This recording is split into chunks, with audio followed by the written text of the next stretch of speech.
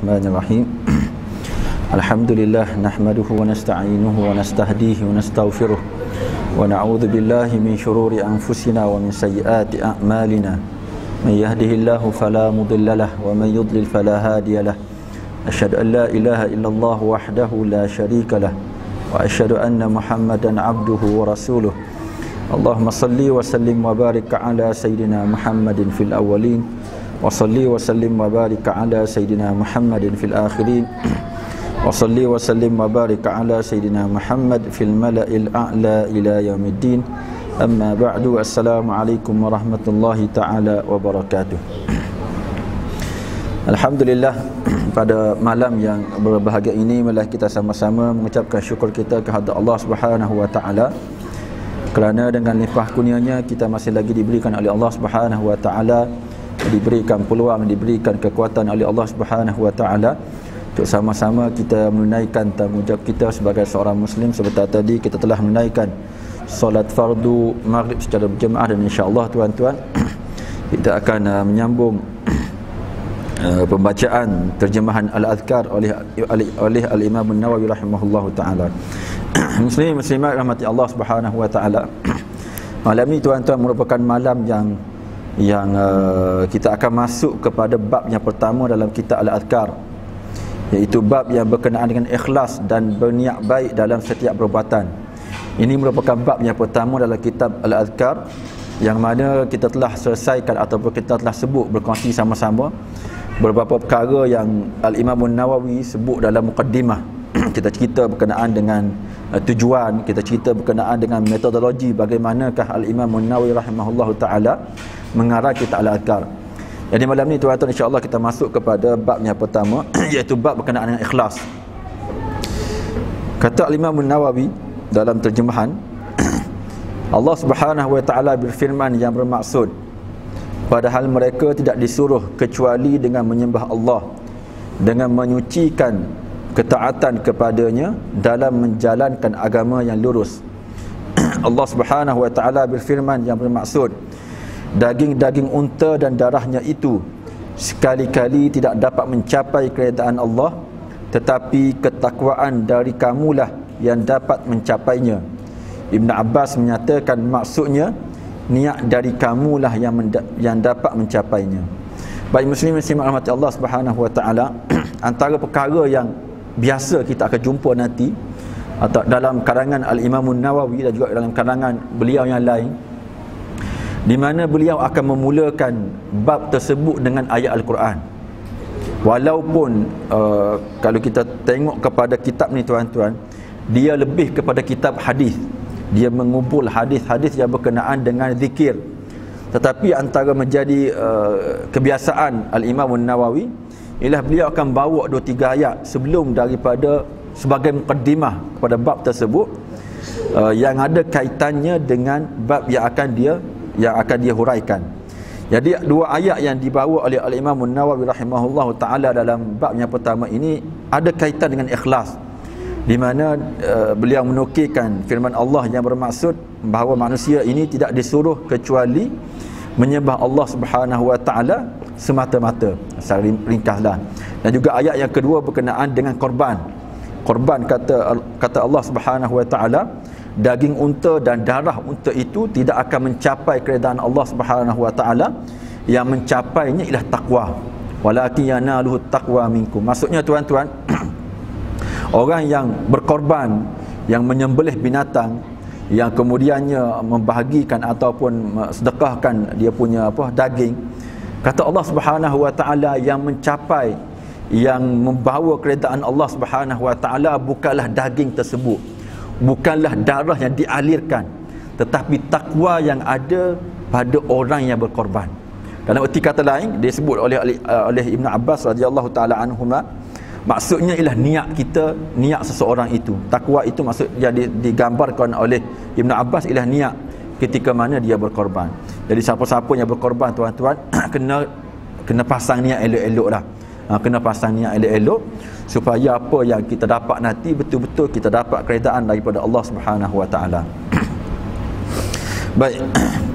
Kemudian Al-Imam An-Nawawi rahimahullah taala dia bawa satu hadis barulah masuk kepada hadis Nabi sallallahu alaihi wasallam yang masyhur iaitu hadis innamal a'malu binniyat. Hadis ni tuan-tuan Al-Imam An-Nawawi dia bawa dengan sanad.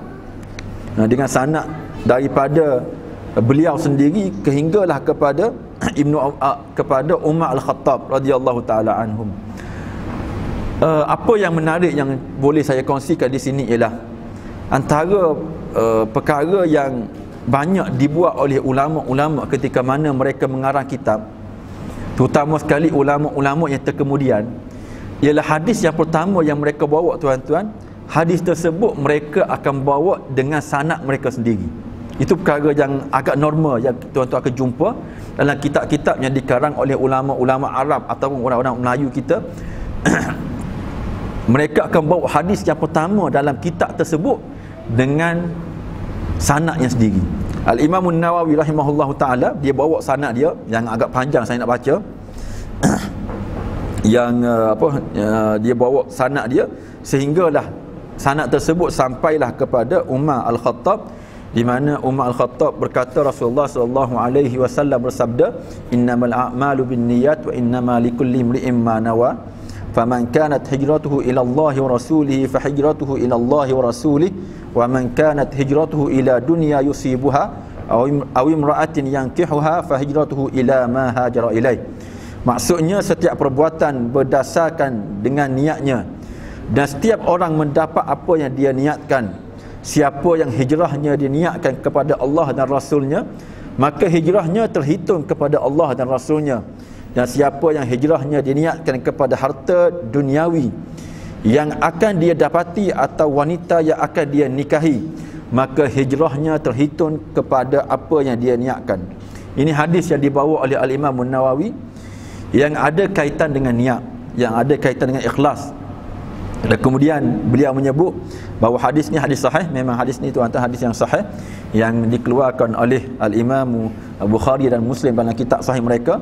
Dan kata al-Imam Nawawi Hadis ini merupakan salah satu hadis dasar dalam Islam. Kaum salaf dan para pengikut mereka rahimahullahu taala lebih suka memulakan tulisan mereka dengan hadis ini untuk mengingatkan para pembaca akan niat yang baik dan perhatian yang cukup terhadap niat tersebut. Jadi hadis ni tuan-tuan ialah hadis yang menjadi dasar dalam agama. Sehingga kan kalau tuan-tuan buka dalam kitab uh, hadis 40 yang mana hadis 40 ni tuan-tuan ialah hadis yang dikumpulkan oleh Al-Imam Nawawi rahimahullahu taala yang beliau sebut dalam mukaddimah kitab hadis 40 beliau sebut bahawa semua hadis yang dalam kitab hadis 40 itu hadis yang utama dalam agama maksudnya tuan-tuan kalau kita nak kenal hadis yang hadis yang menjadi tiang dalam agama ni yang menjadi tung apa yang menjadi tiang utama yang menjadi tonggak dalam agama kita maka tuan-tuan kena tengok hadis 40 nah itu itu tiang-tiang dalam agama. Dan hadis yang pertama yang dibawa oleh al-Imam An-Nawawi dalam kitab hadis 40 ialah hadis innamal a'malu binniyat dalam bahasa mudahnya tuan-tuan ialah hadis innamal a'malu binniyat sesungguhnya amalan itu dengan niat itu merupakan dasar dalam agama kita niat tu tuan-tuan merupakan dasar dalam agama oleh kerana itulah uh, Al-Imam Nawawi menyebut bahawa hadis ini merupakan dasar dalam agama Islam. Kenapa dasar ni tuan-tuan? Disebut oleh ulama kerana amalan kita ni tuan-tuan semuanya ada kaitan dengan niat. Bahkan terima ataupun tidak amalan kita ni semuanya ada kaitan dengan apa yang kita niatkan. Ha, kalau sekadar kelakuan, kalau sekadar tindakan kelakuan ataupun tindakan tersebut tidak akan diterima oleh Allah Subhanahu Wa Taala sekiranya niatnya tak betul um, dalam erti kata lain tuan-tuan niat itu perkara yang penting dan oleh kerana kepentingan ni lah kata Al-Imam Nawawi orang-orang salaf dan para mengikut mereka mereka akan memulakan tulisan mereka dengan hadis ini tujuannya untuk mengingatkan para pembaca berkenaan dengan niat. Ini perkara yang yang tuan-tuan akan jumpa dalam dalam banyak kitab-kitab hadis di mana para ulama ataupun kitab-kitab yang lain di mana para ulama tuan-tuan apabila mereka mengarang kitab banyak di kalangan mereka yang mula dengan hadis innamal a'malu binniyat tujuannya ialah nak mengingatkan kepada kita berkenaan dengan niat kerana orang yang buka kitab ni tuan-tuan selalunya orang yang belajar. Orang yang nak belajar orang yang buka buka buku orang yang buka kitab ni tujuan secara normalnya jaranglah kita jumpa buka buka kitab atau buka buku tu kerana apa? Kerana saja-saja tak? Selalunya dia buka kerana nak baca nak belajar. Jadi ulama kita letak hadis yang pertama innamal a'malu binniyat supaya mengingatkan bahawa orang yang belajar perlu betul niat ha, perlu betul niat ha, oleh kerana itulah ulama kita letak hadis yang pertama kerana belajar ni tuan-tuan walaupun perkara yang elok dalam agama, menuntut ilmu ni perkara yang elok. Tapi malangnya niat orang yang belajar tu macam-macam. Ha, dia tak semestinya belajar itu kerana Allah tak. Ada orang tuan-tuan dia belajar kerana benda lain. Dia menuntut ilmu kerana benda lain. Nak mengelak daripada benda lain yang masuk dalam ketika mana dalam hati ni, maka ulama letak hadis ni hadis yang pertama. Kenapa? Kerana ada orang belajar berdasarkan kepada uh, beberapa kata ulama dan juga hadis Nabi SAW. Ada orang tuan-tuan dia belajar Quran kerana untuk disebut oleh orang bahawa dia tu ahli Quran. Ada orang tuan-tuan belajar ilmu supaya dia dianggap sebagai orang alim. Ada orang tuan-tuan belajar ilmu tak dapat kerja. Oleh kerana itulah belajar ilmu ni Walaupun perkataan belajar tu kita nampak sebagai perkataan yang elok, yang mulia Tapi sebenarnya niat itu tuan-tuan tak semestinya mulia ha, Tak semestinya semuanya belajar kerana agama, kerana kerana Allah Subhanahu Wa Taala. Oleh kerana itulah para ulama kita letak hadis ni di depan supaya mengingatkan pada orang yang belajar kita antaranya apabila kita belajar ni tuan-tuan biarlah kerana Allah Subhanahu Wa Taala. Ha, biarlah. Kalau tidak tuan-tuan kalau tidak kerana Allah rugi. Kita habis masa kan? Orang lain ada orang tuan-tuan? Lepas maghrib balik ke rumah dah ma- pergi makan kan? Ada orang tuan-tuan balik ke rumah pergi apa pergi tengok TV dan seumpama dengannya. Jadi kita yang belajar mana-mana orang yang yang uh, yang korbankan masanya dan juga tenaganya tiba-tiba dia korbankan dalam keadaan niatnya bukan kerana Allah Subhanahu Wa Taala maka amalan yang dia buat ataupun dia punya usaha tuan-tuan akan sia-sia. Dia jadi sia-sialah sia-sia. Tunggu kita tuan-tuan mas-masa kita akan jadi sia-sia. Untuk mengelak daripada sia-sia tadi maka ulama kita pesan awal-awal lagi supaya betulkan niat. Jadi kita belajar ni kerana Allah Subhanahu Wa Taala nak mengingat nak mengangkat kita punya pengetahuan nak memperbetulkan kita punya amalan uh, nak menambah lagi kita punya kefahaman berkenaan agama itu niat-niat yang perlu ada ketika mana kita belajar. Oleh kerana itulah ada ulama yang ada beberapa ulama bahkan ada satu tradisi di beberapa tempat. Apabila mereka buka kitab nak belajar sebelum daripada belajar pakat-pakat niat dengan ramai-ramai nawaitu apa nawaitu uh, ilma wa ta'ala adalah niat dia dibaca. Baca ramai-ramai. Yang tukang mengajar baca dengan dengan kuat yang belajar baca dengan kuat. Dibaca ramai-ramai. Ha, macam kita tuan-tuan sebelum solat tu nawaitu apa uh, usolli fardhu. Ha, macam itulah lebih kurang. Ha, dia dia bukan bukan sekadar solat. Nak belajar pun pakat niat ramai-ramai. Kenapa? Kerana dibimbangi tuan-tuan bimbang belajar tu kenapa kerana terpaksa Ha, terutama sekali kalau belajar di madrasah, kalau belajar di sekolah kan, belajar di universiti. Masuk kelas kenapa? Kerana takut dia apa uh, kehadiran tu tak lengkap. Dan apabila kehadiran tak lengkap, ada kemungkinan di ban daripada dia dihalang daripada apa daripada daripada masuk PSL dan seumpam dengannya. Terpaksa takut kok ustaz atau jadi perkara jadi demikian tu mungkinlah ketika mana dia datang macam itulah dia punya perasaan ataupun niat. Tapi sampai ke kelas sama-sama baca niat dia jadi betulkan niat. Ha, sama-sama memperbetulkan niat. Cuma kita tak buatlah sini kan? Baik. Kami riwayat kata Imam Nawawi kami riwayatkan daripada Imam Abu Sa'id Abdul Rahman bin Mahdi rahimahullah dia berkata Barang siapa yang ingin menulis satu kitab hendaklah memulakan dengan hadis ni. Ha, ini kata-kata ulama salah seorang daripada ulama besar Abdul ya, Abdullah Ibnu Mahdi uh, untuk guru kepada imam kita Imam Syafi'i beliau menyebut bahawa siapa nak tulis satu kitab uh, kena mula dengan hadis ni. Uh, kena mula dengan hadis ni. Kata Abu Sulaiman Al-Khattabi salah seorang daripada ulama mazhab kita mazhab Syafi'i mengatakan guru-guru kami terdahulu cenderung mendahului hadis setiap perbuatan bergantung pada niatnya pada segala sesuatu yang dia mulia yang dia mulakan pada urusan agama. Ini disebabkan oleh keperluan pelbagai jenis aktiviti dengan niat. Ha, seperti mana saya sebut tadi bahawa ada di kalangan ulama memang mereka apabila nak buat satu kerja ataupun nak terutama sekali nak menulis satu kitab satu buku mereka akan tulis hadis ni sebagai hadis yang pertama mengambil kesempatan lah bahasa, bahasa mudah kita tuan-tuan nak ambil kesempatan supaya memperbetulkan niat orang yang belajar Baik kata Ibn Abbas diberikan kepada manusia sesuai dengan kadar niat masing-masing. Ini kata Ibn Abbas yang menyebut bahawa manusia ni apa yang dia dapat ialah berdasarkan sejauh mana niat dia. Nah, maksudnya tuan-tuan kalau kita masuk belajar buka kitab buku-buku sejauh mana niat kita untuk Allah macam itulah lebih kurangnya apa yang kita dapat. Kalau kita full kerana Allah Subhanahu Wa Taala komitmen kita ataupun niat kita kerana Allah maka ilmunya kita akan dapat insya-Allah dengan dengan sempurna. Tapi kalau sekiranya 40%, 50% kerana Allah, maka macam itulah juga ilmu kita akan dapat 40% dan 60%. Lebih kuranglah maksud uh, Ibn Abbas radhiyallahu taala anhuma.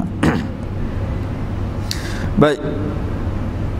Nah, kemudian uh, Al-Imam An-Nawawi bawa kata-kata ulama yang berkenaan dengan ikhlas. Oh, ini panjang. Ha, ini cerita panjang. Cerita panjang tuan-tuan. Jadi kita baca dengan agak laju sikit lah. Dia menyebut bahawa uh, Fudai bin Iyad berkata meninggalkan sesuatu perbuatan kerana manusia adalah riak dan mengerjakan satu perbuatan kerana manusia adalah syirik. Ikhlas bererti Allah menyelamatkan kamu dari keduanya Al-Muhasibi mengatakan orang yang jujur adalah orang yang tidak peduli kepada penilaian orang lain terhadap terhadapnya selama hatinya tetap bersih. Tidak suka kepada pengetahuan orang lain akan kesulitan yang dia hadapi ketika beramal dan tidak benci kepada orang lain jika orang lain mencari keburukannya. Jadi perkataan yang pertama yang dinukil ialah daripada tokoh tasawuf.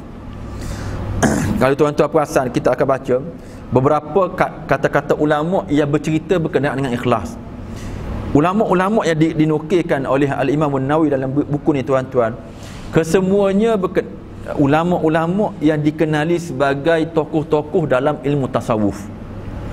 Kerana apa? Kerana ilmu yang banyak membincangkan berkenaan dengan hati ialah ilmu tasawuf.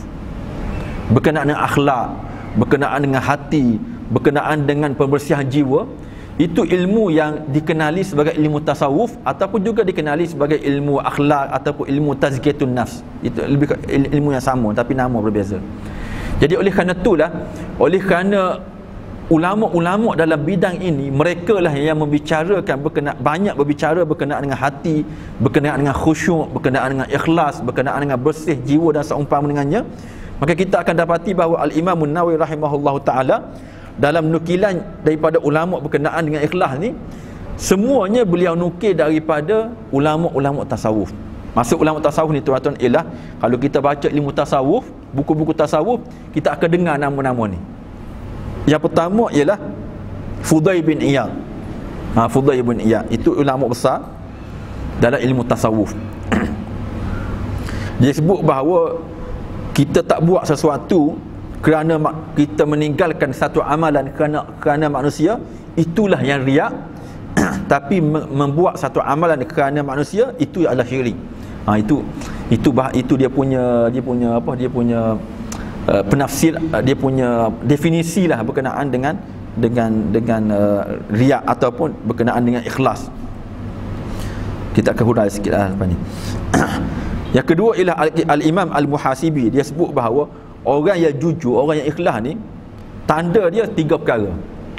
Yang pertama ialah dia tak dia tak kisah berkenaan dengan kata-kata orang kepada dia. Ha, itu yang pertama. Orang yang dia tak kisah orang kata macam mana kepada amalan dia dia nak dia ni rajin ke dia nak menunjuk ke dia bagus ke dia tak bagus ke dia tak kisah. Ini salah satu tanda ikhlas. Maksudnya ialah orang yang ikhlas dia tak kisah apa yang orang sebut berkenaan, berkenaan dengan dia. Yang kedua ialah tanda ikhlas dia sebut oleh al-Imam Muhasibi ialah dia tak suka sekiranya ada orang tahu betapa susahnya ataupun apa yang dia buat. Maksudnya tuan-tuan kalau boleh kesusahan ataupun kesungguhan yang dia buat ketika mana dia melakukan satu amal ibadat dia tak suka orang tahu dia tak suka bah, dia tak suka bah, bagi contohlah mudah kita tuan-tuan. Dia tak suka orang tahu berapa banyak dia belanjakan untuk menunaikan haji. Bagi contoh. Dia tak suka orang tahu betapa susahnya dia tuan-tuan nak bangun tidur untuk untuk datang solat subuh sebagai contoh. Dia tak suka. Dia tak ya maksudnya ialah apa jua yang kesusahan yang dia hadapi biarlah dia dengan Allah Subhanahu Wa Taala. Ha, kita kadang-kadang cerita kan. Kita kadang-kadang cerita kepada orang kita buat itu buat ini. Kita kita kadang-kadang tuan-tuan cerita kepada orang bahawa nak, bu, nak apa nak boleh sampai ke apa uh, apa kadang-kadang kadang-kala lah kita cerita kepada orang uh, minggu lepas nak boleh sampai ke solat Jumaat tu kena parking jauh. Oh cerita ke orang berkenaan dengan susahnya kita nak solat Jumaat sebagai contoh. Kita cerita kepada orang apa berkenaan dengan kita ni tuan-tuan nak puasa enam susahnya puasa enam di bulan Syawal ni kenapa? Kerana bertembungan ni ah, macam-macam kita cerita.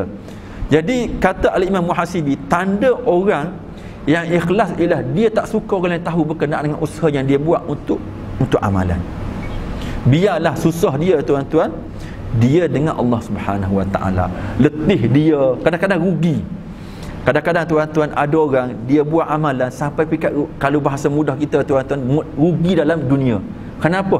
Kerana kan dia perlu bubuh apa kalau kita tak apalah kita boleh jalan kaki. Ada orang tuan-tuan nak pergi ke surau kena naik kereta.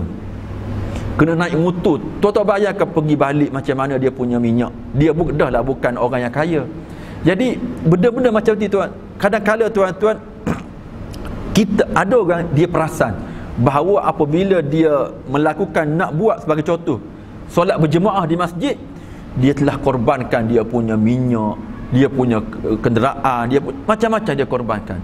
Tapi ada orang tuan-tuan jika betul-betul ikhlas dia sendiri tak kisah dengan apa yang dia korbankan bahkan dia tak akan cerita bahawa apa yang dia buat untuk buat amalan tersebut. Yang ketiga kata al-imam muhasibi ialah dia tidak akan rasa benci sekiranya ada orang yang mencari keburukan amalannya. Ha, itu tanda yang ketiga.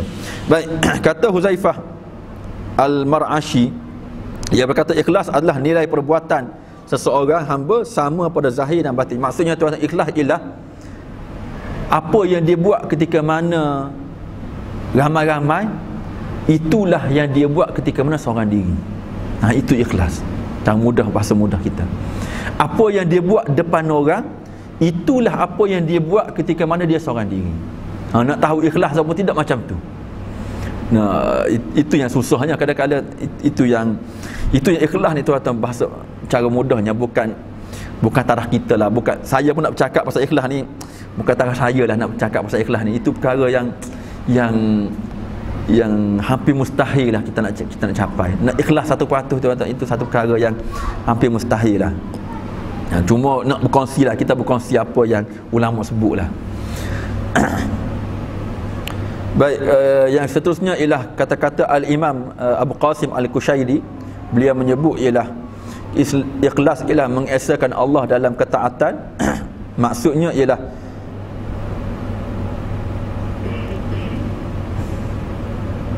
Dia hanya ingin mendekatkan diri kepada Allah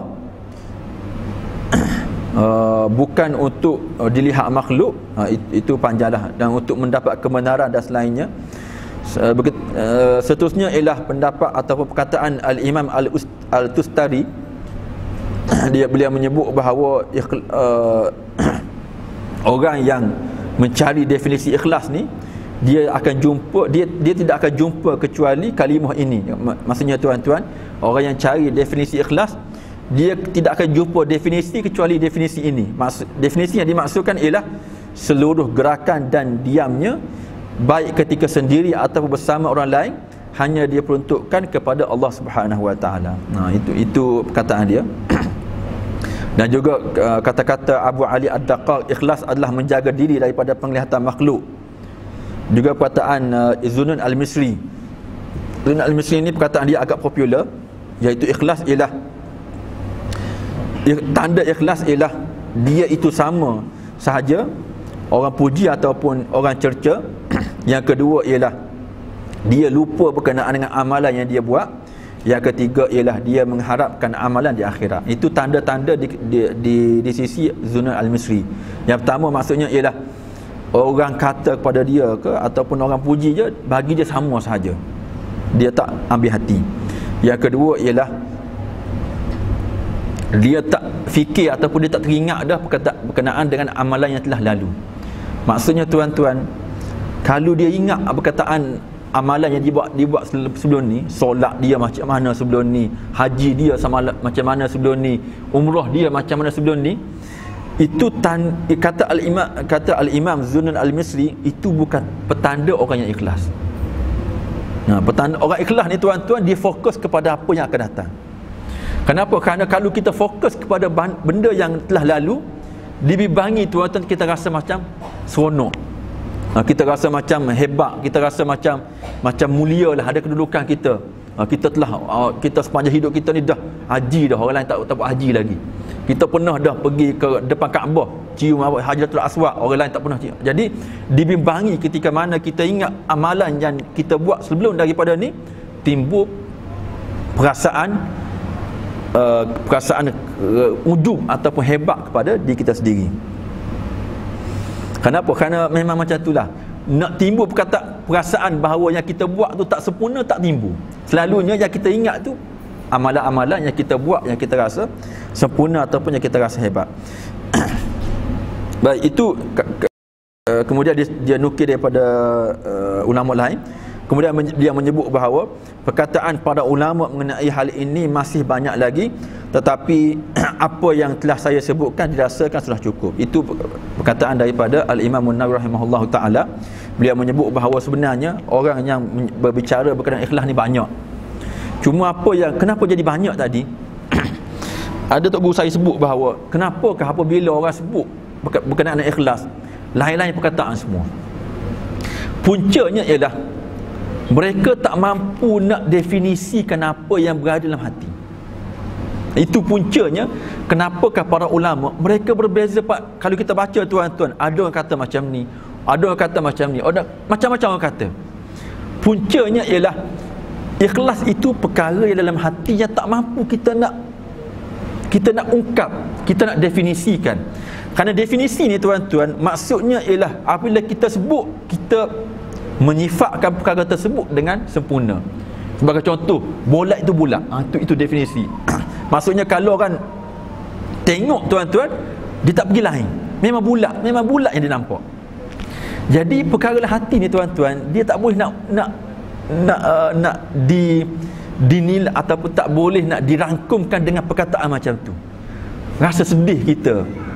Rasa gembira. Benda-benda tuan-tuan kita tak boleh nak definisikan dia jadi apa yang berlaku ialah para ulama tuan-tuan mereka hanya menyebut tanda.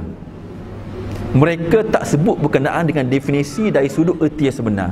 Tandanya mereka sebut tandanya orang tak hirau berkenaan orang orang yang ikhlas ialah orang yang tak hirau berkenaan dengan puji ataupun cecek celaan orang lain. Ha, itu tanda.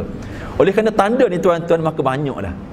Ha, kerana tanda orang Islam ni banyak dia mengharapkan pahala daripada Allah boleh juga jadi tanda. Dia tidak dia amalan dia yang dia buat ketika mana depan orang dan juga ketika mana belakang orang sama itu juga tanda.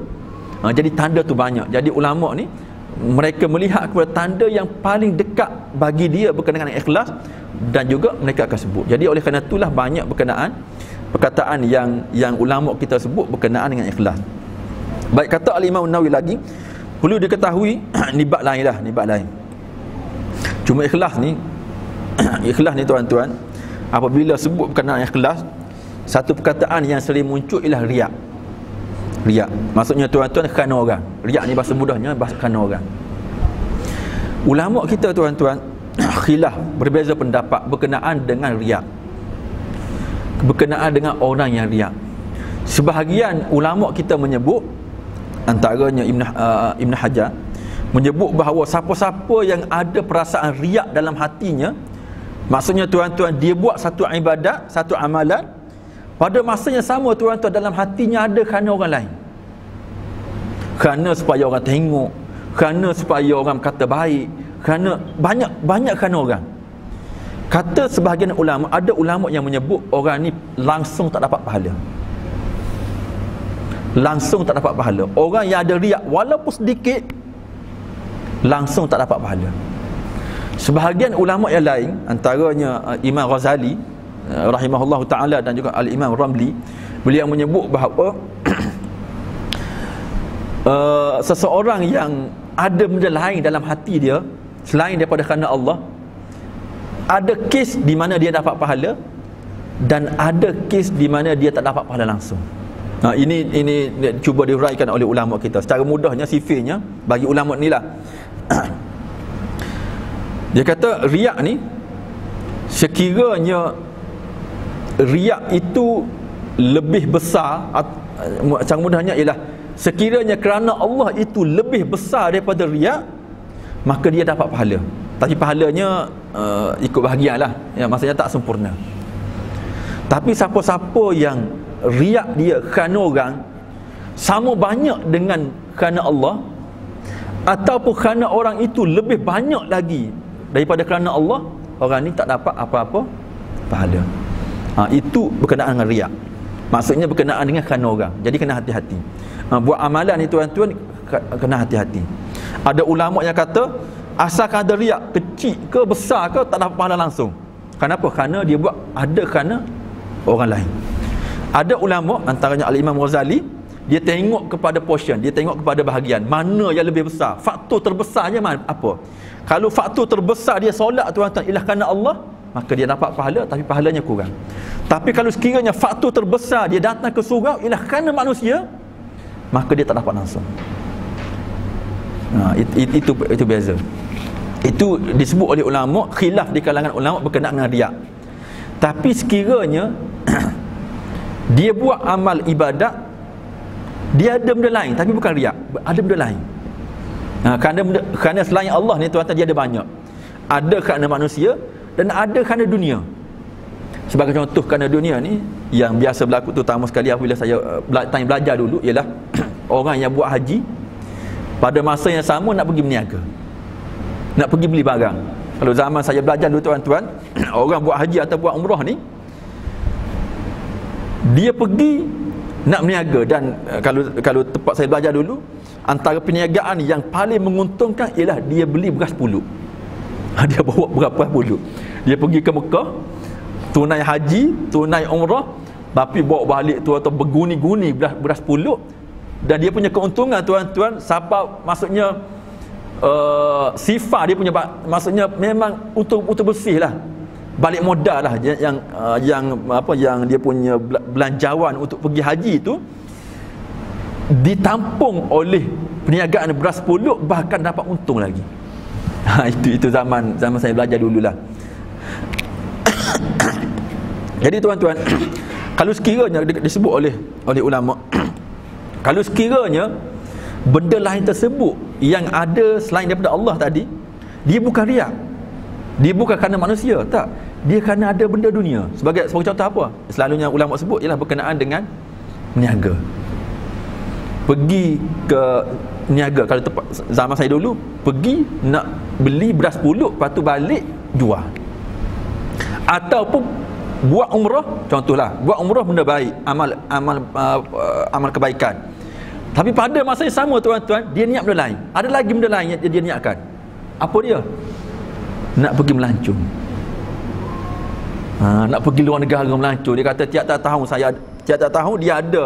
Dia punya program mesti pergi melancong tahun ni tak tak pergi mana. Kenapa? Kerana dah pergi ke Mekah. Jadi dia niat dia ada niat lain. Niat lain ke apa? Melancong dia tu dia dia gabung sekali dengan dengan pergi apa pergi umrah atau pergi pergi haji. Ataupun dia dia ambil wudu. Ambil wudu itu atau perkara amal ibadat. Perkara baik dapat pahala tapi ada orang tempat kita mungkinlah tak tak tak berapa jelas sangat.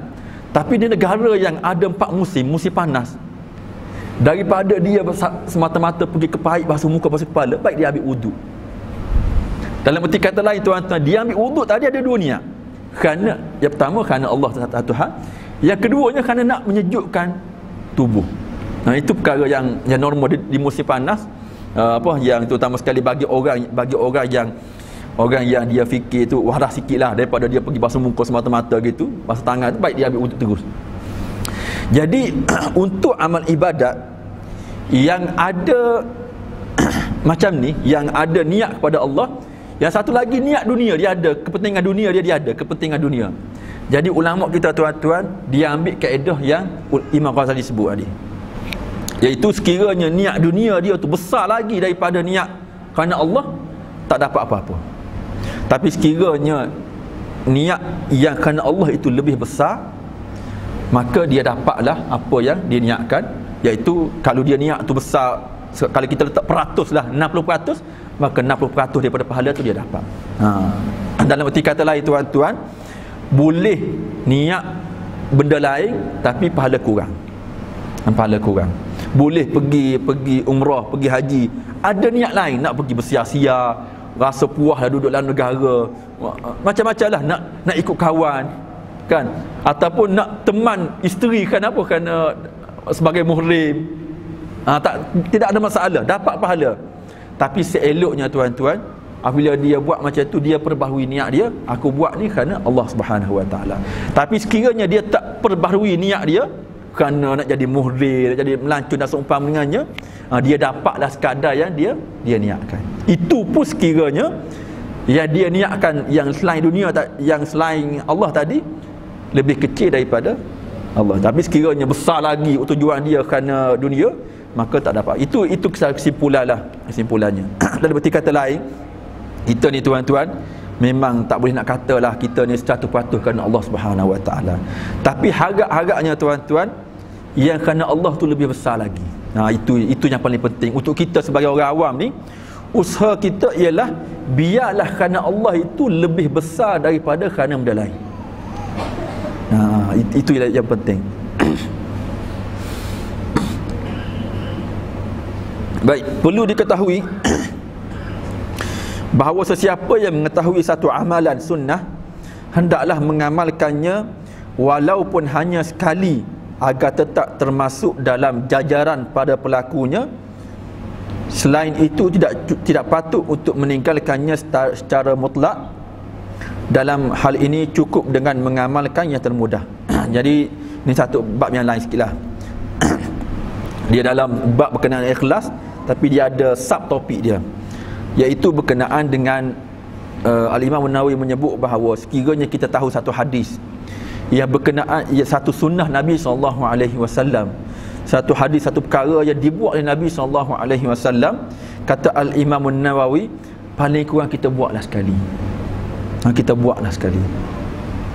Nah kalau tak maksudnya tuan-tuan tak tak tahu buat ataupun kita tak larat nak buat paling kurang usahalah biar seumur hidup kita pernah ada kita buat amalan tersebut. Kenapa? Disebut oleh, oleh Imam Nawawi rahimahullah taala supaya kita termasuk di kalangan orang yang buat. Ha, kita termasuk di kalangan orang yang buat. Baik. Rasulullah sallallahu alaihi wasallam bersabda dalam hadis yang disepakati kesahihannya Rasulullah bersabda idza amartukum bi syai'in fa'tu minhu mastata'tum Artinya jika aku memerintah kamu untuk melakukan sesuatu maka lakukanlah sedaya upaya kamu. Hadis ni tuan-tuan Imam Nawawi tak tak bawa sanad. Kenapa? Kerana dia dia, dia bawa yang pertama. Kata Rasulullah wasallam, jika aku memerintahkan kamu melakukan sesuatu maka lakukanlah sedaya upaya kamu. Ha, jadi sedaya upaya kamu tu ulama menafsirkan biarlah buat sekali seumur hidup. Ha, kalau buat lebih banyak tu lebih baguslah tapi yang lain tu biarlah adalah kita buat sekali. Baik bab seterusnya atau bab, bab yang berkaitan. Para ulama dalam dari kalangan ahli hadis dan ahli fiqh menyatakan dibolehkan mengamalkan hadis daif berkaitan dengan amalan-amalan sunnah selama hadis tersebut tidak palsu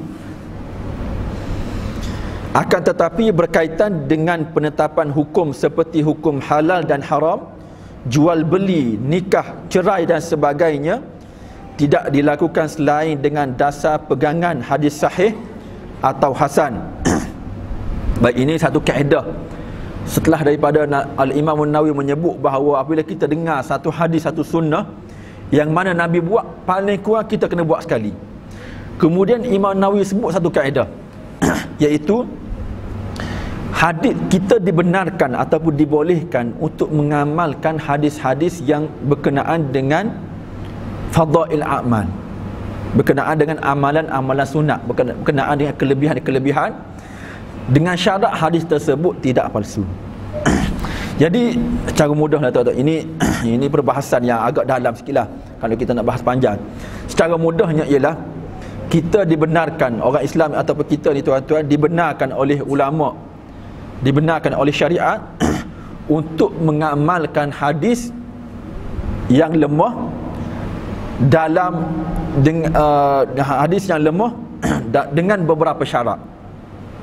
Syarat yang pertama, hadis lemah tadi tuan-tuan dalam bab berkenaan dengan fadail. Fadail ni maksudnya ialah benda yang berkaitan dengan kelebihan. Fadail ni maksudnya ialah di antara fadail amal berkenaan dengan sirah, sirah Nabi.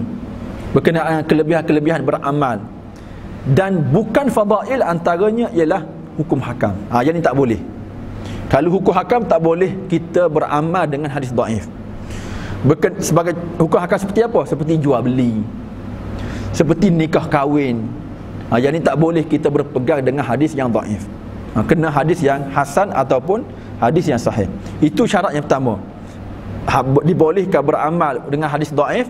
Yang syarat yang pertama ialah dalam fadail amal itu bahasa Arab fadail amal uh, bahasa Melayu kita kita boleh kata sebagai uh, kelebihan beramal lah ataupun amalan-amalan tambahan ataupun amalan lah amalan-amalan uh, yang berbentuk uh, kelebihan itu syarat yang pertama syarat yang kedua tuan-tuan dibolehkan beramal dengan hadis dhaif syarat yang kedua ialah hadis tadi tuan-tuan bukanlah terlalu dhaif dhaif ni bahasa Arab maksudnya ialah lemah.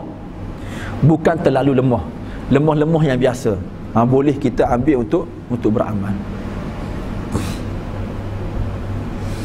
Yang yang ketiga ialah dibolehkan beramal dengan hadis dhaif syarat yang ketiga ialah amalan tadi kena ada asas dia ha, dia tak boleh hadis tadi tuan-tuan dia bawa benda betul-betul baru tak hadis yang fadail amal tadi dia dia bawa satu amalan yang memang amalan tersebut secara secara asasnya ada dalam agama.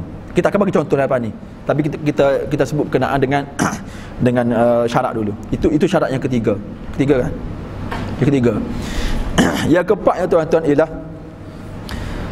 tak boleh kita meyakini hadis tersebut datang daripada Rasulullah sallallahu alaihi wasallam. Itu syarat yang keempat. Kita ambil empat syarat ni. Tak boleh meyakini. Maksudnya tuan-tuan ketika mana kita beramal dengan hadis tersebut kita sebut ini memang Nabi buat. Ha, tak boleh. Ini memang Nabi buat. Tak boleh. Baik. Contoh mudah lah. Contoh mudah. Apakah situasi di mana fadail amal ini dibuat contoh yang mudah yang mungkin tuan-tuan sedia eh, yang tuan-tuan boleh boleh yang uh, jumpalah ialah hadis 40 hadis 40 tuan-tuan perasan tak hadis 40 hadis 40 ni tuan-tuan satu bentuk karangan ulama di mana ulama kita tuan-tuan meletakkan 40 hadis. 40 hadis. Ia sebenarnya diambil daripada satu hadis dhaif di mana diriwayatkan bahawa Nabi sallallahu alaihi wasallam menyebut siapa-siapa yang menyampaikan 40 hadis kepada umat ataupun kepada orang lain dia akan dapat sekian-sekian. Hadis ni tuan-tuan hadis daif. Yang pertama sekali hadis ni uh, sebelum daripada tu hadis ni tuan-tuan telah diamalkan oleh ulama antaranya al-Imam Nawawi rahimahullahu taala dan juga ramai ulama lain.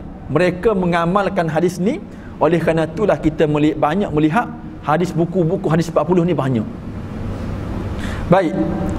Hadis 40 ataupun amalan menulis hadis 40 ni tuan-tuan, dia cukup syarat. Yang pertama sekali, dia berkenaan dengan fadail amal.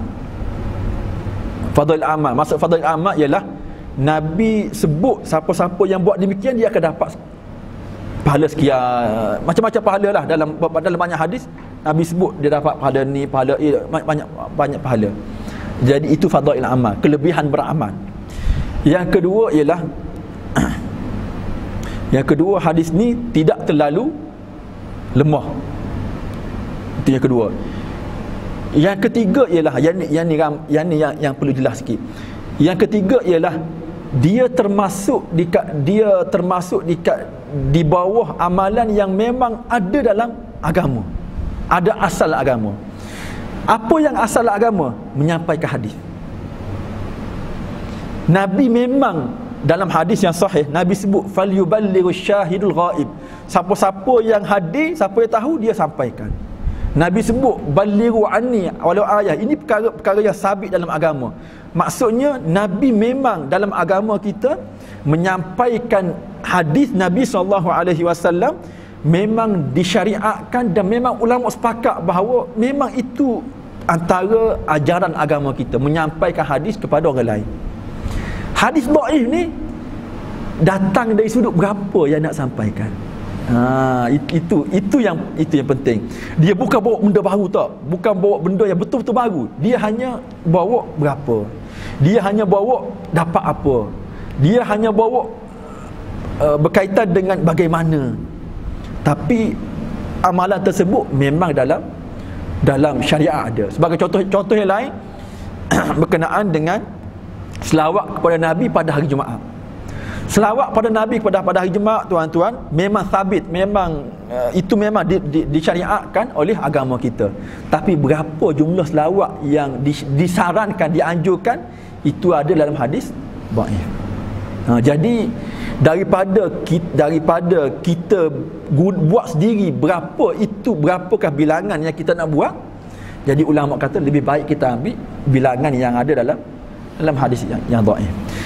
Daripada kita sendiri menentukan berapakah bilangan hadis yang kita nak tulis dalam dalam buku 20 ke 13 ke 40 ke 50 ke lebih baik kita ambil dalam satu hadis yang dhaif menyebut 40 ha, jadi itu fungsi hadis dhaif yang yang seterusnya Ha, tak boleh tak boleh yakin, tak boleh yakin, tak tak boleh yakin bahawa itu betul-betul datang daripada Nabi sallallahu alaihi wasallam. Kenapa? Kerana ia dhaif. Maksud dhaif ni tuan-tuan dia ada masalah. Ha, dia ada masalah. Masalah dari sudut apa? Bukan masalah dari sudut perawi itu masa perawi itu penipu tak? Perawi tersebut memang perawi yang yang baik, yang soleh, tapi dia ada isu dari sudut kekuatan hafalan dia. Ha, jadi Kebanyakan masa dia ni ada masalah dari sudut kekuatan hafalan. Tetapi oleh kerana dia tu soleh dan kemungkinan besar ada ketikanya hafalan dia tu betul, maka di, disebut hadis tersebut hadis hadis yang yang dhaif. Itu secara mudah lah secara mudah sebab benda ni panjang. Bahkan benda ni tuan-tuan eh, banyak disebut ataupun bahkan ada kitab yang berbicarakan berkenaan dengan perkara ni. Baik. Dikecualikan Eh, azan macam mana? Kau tunggu sikit lagi sikit. Tunggu sikit lagi waktu kita berhenti ya. Ha balik kita nak sikit lagi.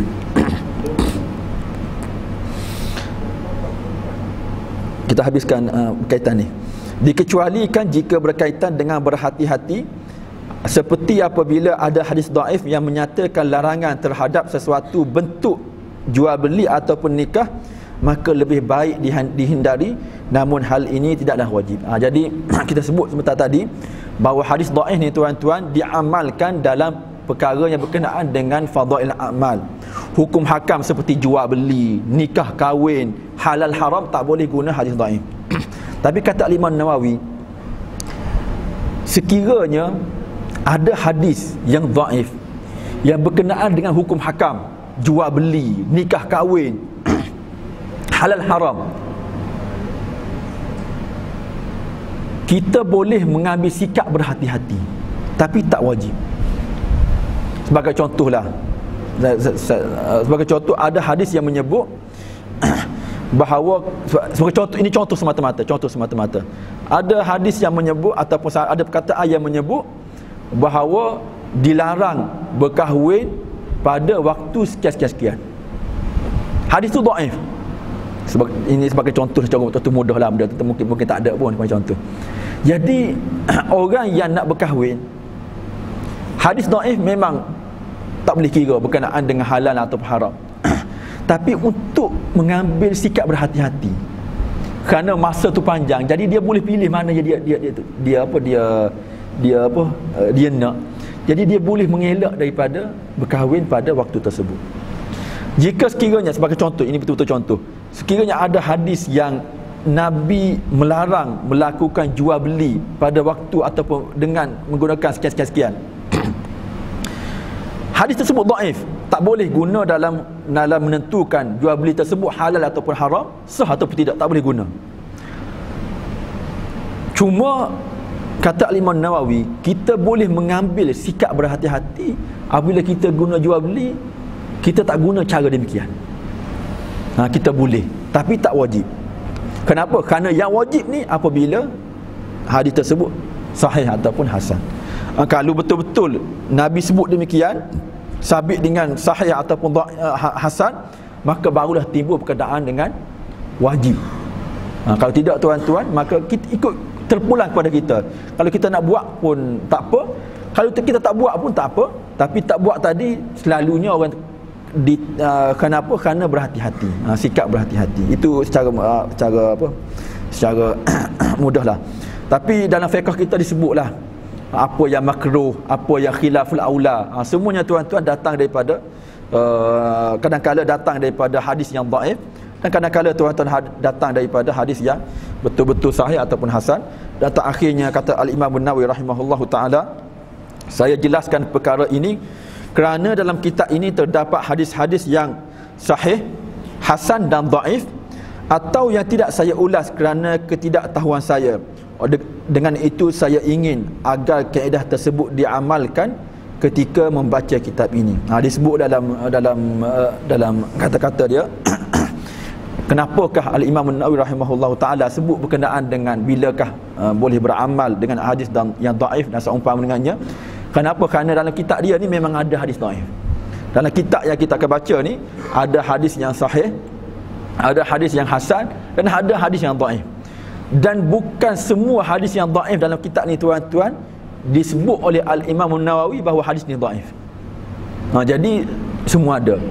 Walaupun begitu, walaupun semua ada hadis dhaif ataupun hadis hasan ataupun hadis uh, hadis uh, hadis sahih, tapi kata Al-Imam Nawawi kita kena ingat bahawa walaupun ada hadis dhaif tapi dia tertakluk kepada kaedah yang kita baca tadi. Dalam erti kata lain tuan-tuan, secara mudahnya ialah wala ada hadis dhaif dalam kitab ni tapi dia tak sampai ke peringkat palsu.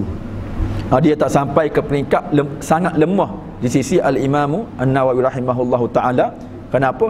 Kerana dia berpegang kepada kaedah yang menyebut dibolehkan beramal dengan hadis yang dhaif berkaitan dengan amalan-amalan selagi mana hadis tersebut tidak palsu itulah tuan-tuan apa yang saya boleh kongsikan berkenaan dengan apa apa yang disebut oleh al-Imam Nawawi rahimahullahu taala yang yang mana tuan-tuan apa yang kita dengar sebentar tadi itulah lebih kurang apa yang kita akan jumpa nanti al-Imam Nawawi uh, dalam bukunya al-Azkar ni tuan-tuan agak menarik ialah kadang-kala dia selit beberapa faedah ataupun beberapa poin yang penting ketika mana dia berbicara berkenaan dengan benda lain.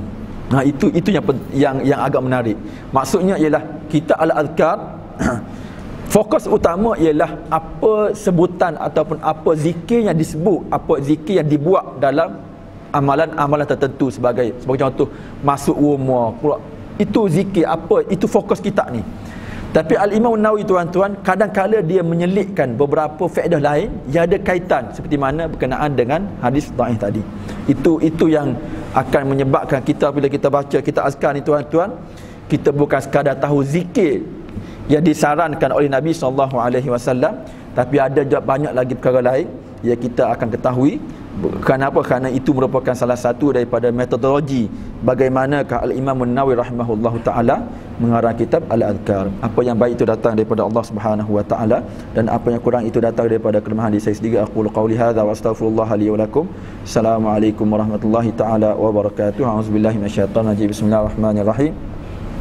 يا ربنا لك الحمد كما ينبغي لجلالك وجهك وعظيم سلطانك. لا أحصي ثناء عليك أنت كما أثنيت على نفسك. اللهم اجعلنا من الذين يستمعون القول فيتبعون أحسنه. ربنا اتنا في الدنيا حسنة وفي الآخرة حسنة وقنا عذاب النار. صلى الله عليه محمد وعلى آله وصحبه وسلم. والحمد لله رب العالمين. الله بكم